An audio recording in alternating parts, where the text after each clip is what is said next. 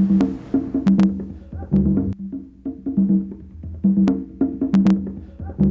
evening. It's Tuesday, 12,432 years before the year 2000. I'm Dr. Wooly Dewitt with the news. Our lead story tonight is the ongoing conflict between human hunters and their prey. In heavy fighting today, the hunters clashed with a large woolly mammoth not far from our studios. Let's go to our reporter, Og Og Boom, on the scene. Thanks, Wooly. Unfortunately, the hunters were unable to bring down the mammoth, but they did manage to nab a caribou instead. I'm here live in the camp where the hunters are now feasting on their kill. We do have some footage recorded earlier showing just how the hunters brought down this animal. As you can see, these caribou are no match for our superior ground forces. The hunters here tell me they plan to inflict heavy damages on the mammoth tomorrow, and we should have all our troops home by next week. Back to you, Willie. Thanks for that report, Ugh Ugh.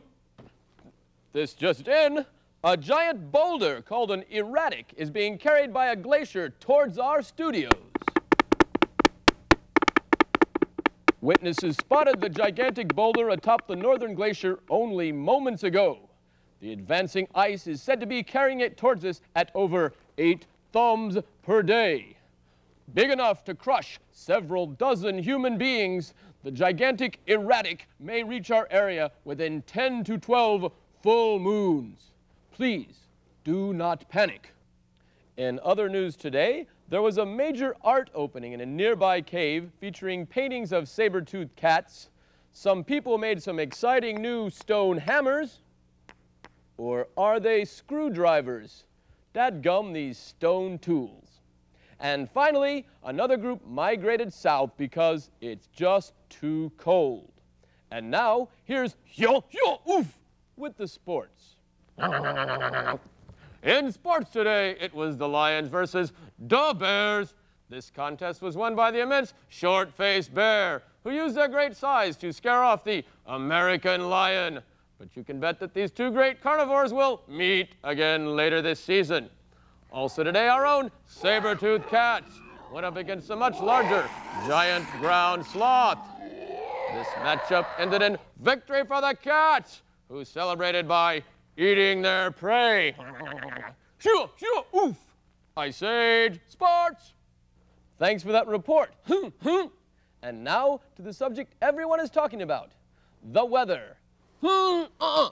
Can you tell us when this cold is going to end?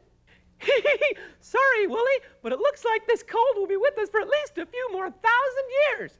Today was another chilly one, with temperatures from a little below freezing in the south to a lot below freezing in the north. Sea levels remain about 300 feet below normal due to all that water locked up in ice. We wrap up our news tonight with our weekly editorial feature, Point Counterpoint. Tonight, um, oof, ach, and ugh, oof, we'll discuss the mass animal extinction we're beginning to see. Clearly, the extinctions are being caused by overhunting. We're just killing too many mammoths and sloths. Um, oof, ugh. You ignorant prehistoric human, it's obviously not the overhunting, it's the ongoing climate change affecting both the larger animals and what they eat. No, it's not. It's the overhunting. No, it's not. It's the climate change. It's the overhunting. No, it's not. It's the climate change. It's, it's the overhunting. It's the climate it's change. The overhunting. No, it's, it's not. The overhunting.